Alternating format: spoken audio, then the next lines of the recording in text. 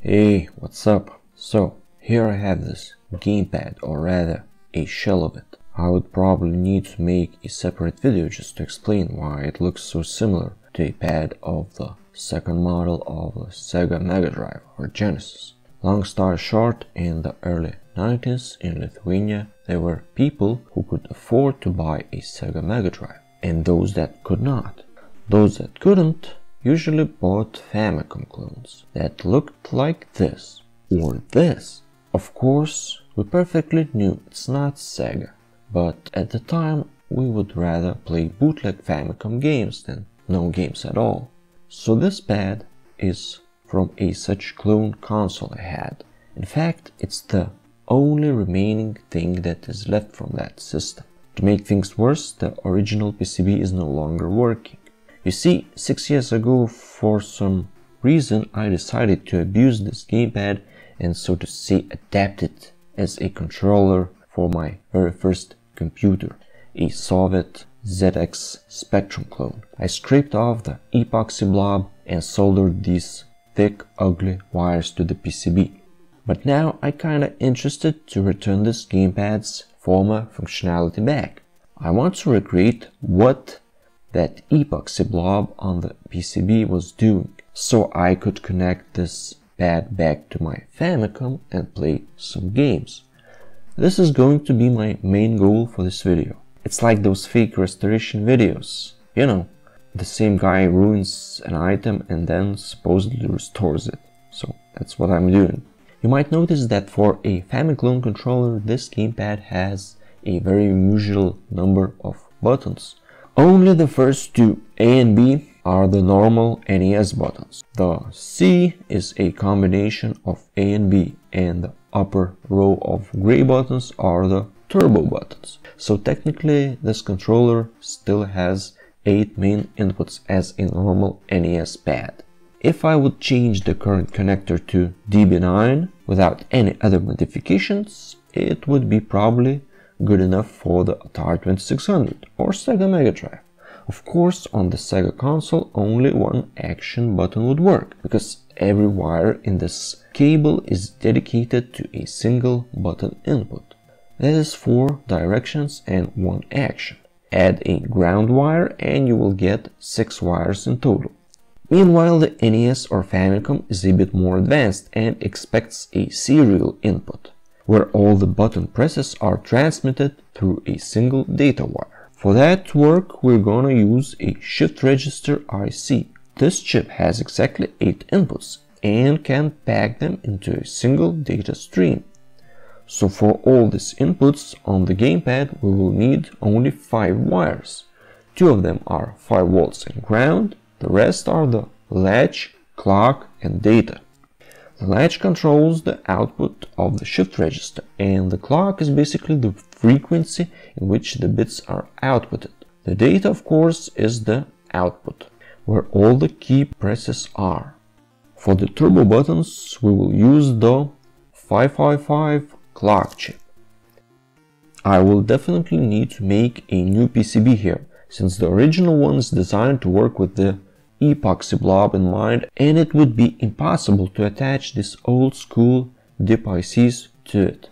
But first I need to make a prototype to make sure everything would work.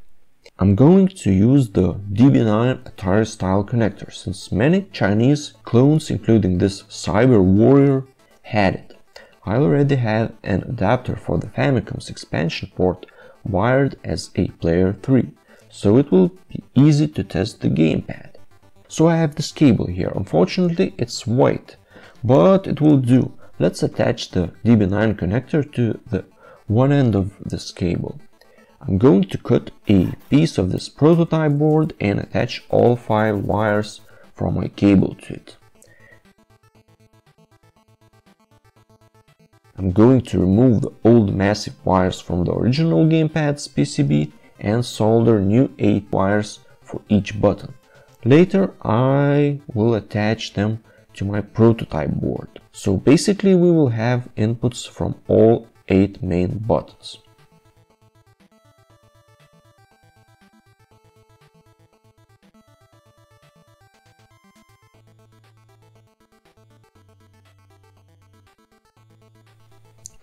After connecting the wires, I can put the original PCB back its shell and assemble the gamepad. As you see here, I already labeled the button wires on the board and the wires that will go to the Famicom.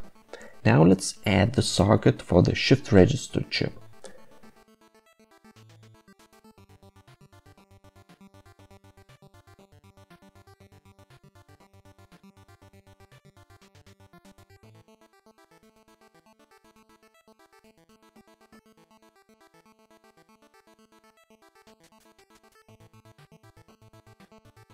Okay, the socket for the 4021 chip is pretty much wired. Now we need to attach some button from the gamepad as an input in order to test it on the Famicom. So let's start from mm, the start button. So I'm gonna connect the start button first. What the heck is going on? It looks like as if the start button is pressed repeatedly, but I'm not pressing anything. This happens because the chip is not sure it's getting 1 or 0 value from the input. Logic circuits can have this third state where it's neither true or false.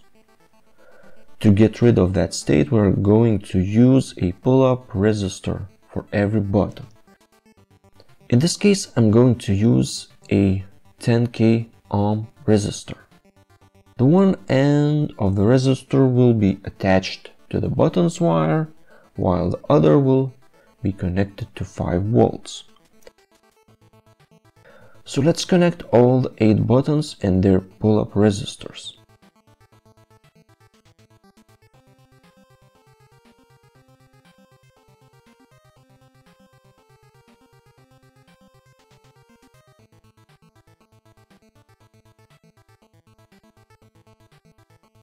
After the job is done, let's test the gamepad again.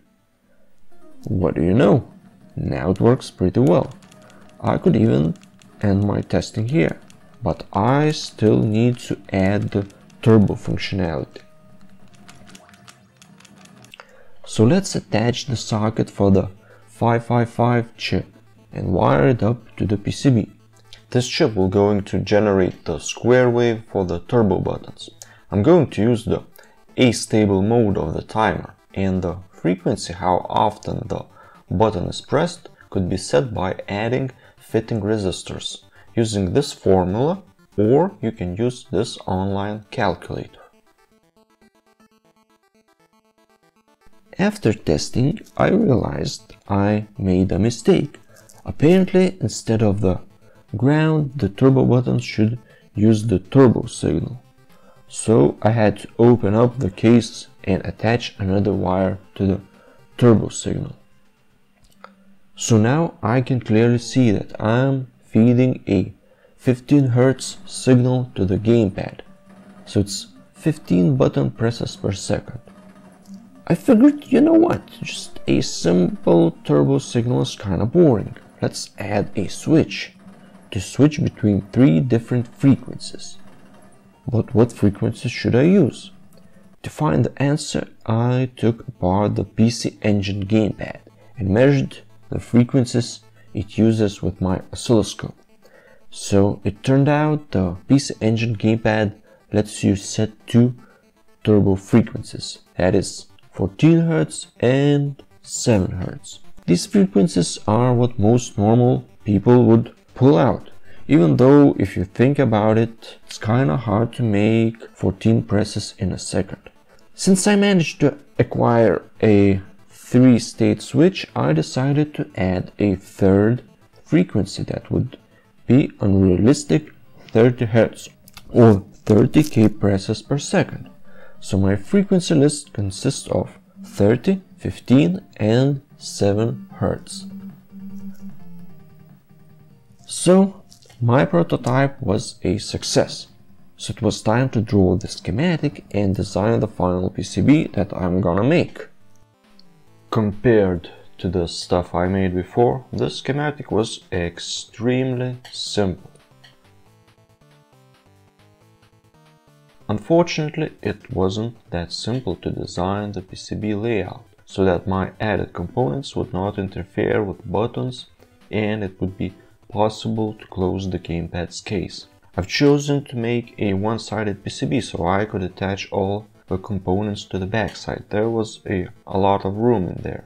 Probably it would have been smart to use SMD components, but I picked the ultimate way of a caveman and stick to the THT. I guess I really like drilling those holes after all. What really bothered me at first was that I could not find footprints that would look similar to the button plates on the original PCB.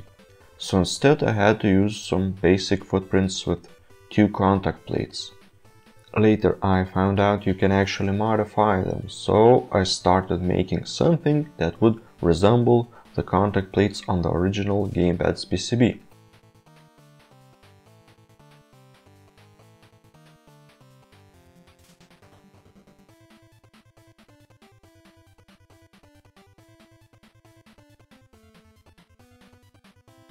Of course, I got lazy and made only one variation for all the buttons. So finally I had a first version and printed it out to see what I did right and what's wrong. And it turned out my board was complete rubbish. The components and buttons were spread out a bit too much, so I had to fix that. Also this time I added mounting holes. So I was going back and forth like that until I had a version that seemed good enough. So I printed it and glued on a thick cardboard. I punched the holes and even put in the chips and resistors. I wanted to make sure I could close the lid of this gamepad. After a few small tweaks I was ready to etch the PCB. So as usual I cut out the piece of laminate a little bit bigger than the size of my PCB, printed the layout on a magazine paper and ironed the print onto the laminate.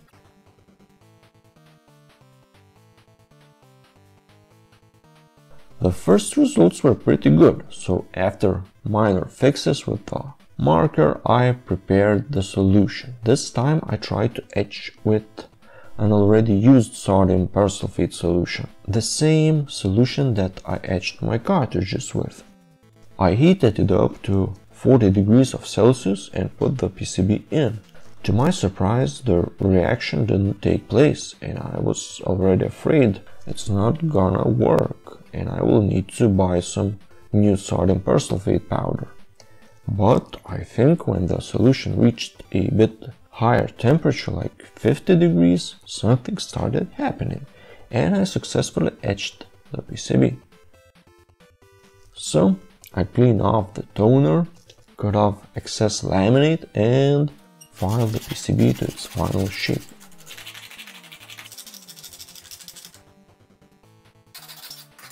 So you can see here the whole PCB evolution process, how many iterations there were until I finally etched the layout. Since I've already tested the cardboard version of my PCB, I had no problems putting it into the case, everything just clicked. Then I drilled the holes for the components and wires.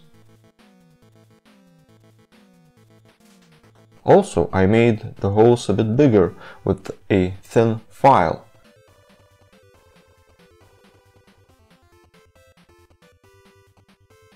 Then using the desoldering braid I covered the copper with a protective layer of solder.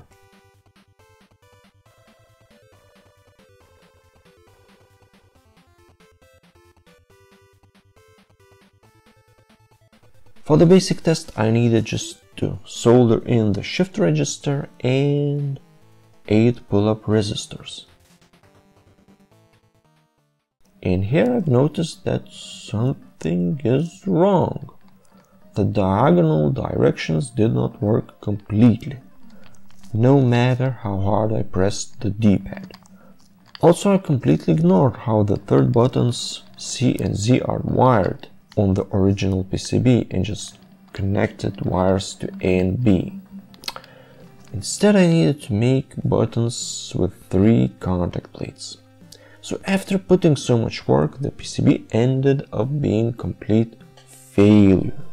I just had to take a short break and start designing the PCB all over. This time I took extra care measuring contact plate sizes and their placement on the original PCB. So my PCB button layout would be identical and there would be no mistakes. After etching the new PCB and soldering in the shift register, I was eager to test it. Will it work this time? Well, the C and Z buttons worked fine, but the diagonal directions did not. What now? I kinda noticed that I need to press really hard on the rubber for the diagonal directions to work. And also remember that one of my viewers in previous video said that the contact plates have to be extra smooth. And I will have hard time since I'm gonna cover the copper with solder by hand. So I grinded the plates with a desoldering blade and even sanded them with fine sandpaper. After that they looked pretty smooth, although I sanded off some solder in places. When I tested the pad I was amazed that the diagonal direction started working. Although it wasn't like ideal super perfect but it was good enough for a homemade thing. Perhaps in future I will learn how to cover my PCBs with metals using other ways than just messing with solder. Then I added the rest of the components. I cut off the rubber thingy from some old Famiclone controller wire and attached it to the end of the cable to protect wires from being pulled out from the PCB.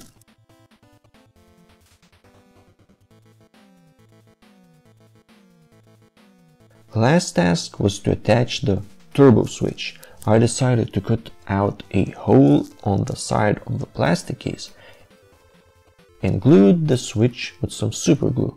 I hope it will stay in place.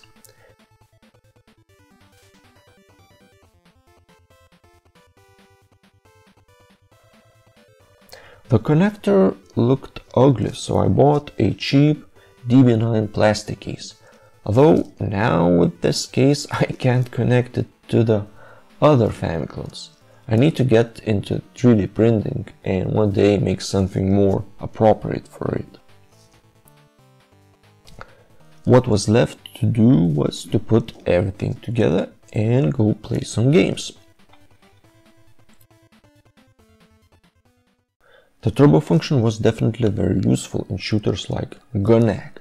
It made the game super easy. The interesting find was that Super Mario USA doesn't work if you connect a third player controller through the expansion port. I had no idea. Even though I can switch between three turbo frequencies, I always use the 7 Hz frequency because it produces a nice stream of bullets and Contra and not a short bursts like 15 and 30 Hz do. In most shooter games there is no much difference between 15 and 30 Hz, but I haven't tested them all. I can finally play Batman like I used to back in the day with the exact same controller and I can beat the game easily, so that proves the controller is not that bad. In the end, I'm pretty happy with the results. Although it was a hard work, I finally have a working gamepad that is way better than it ever was. So that was my nostalgic passion project. Thanks for sticking with me till the end. I think in the next video I will try to make an NES Hello World application from start to finish in one session. So if you're interested then please subscribe the channel. So that's all for now. Thank you again for watching and hopefully see you next time. Bye.